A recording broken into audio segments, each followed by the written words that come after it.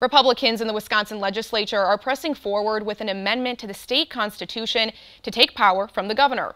JT Cestkowski has you covered on what the amendment would change and why environmental activists are raising the alarm.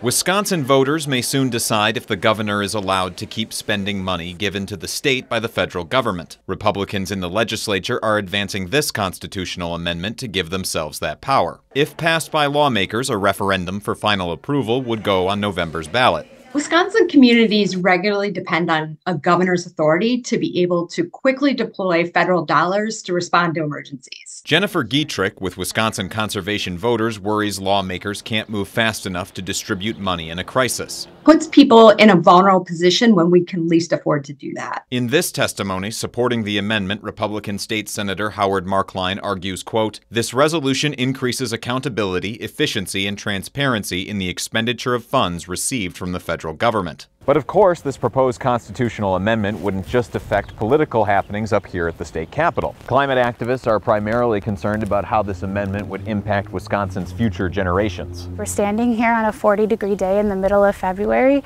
and we need to take action now if we're going to preserve the health of our communities. Abby Novinska with Healthy Climate Wisconsin thinks the amendment would slow the response to climate change, and that has personal meaning for her. I'm concerned about the health impacts because I've seen them already in my family and friends. She doesn't want the state slowing action. We don't need to delay funds in order for communities to get care.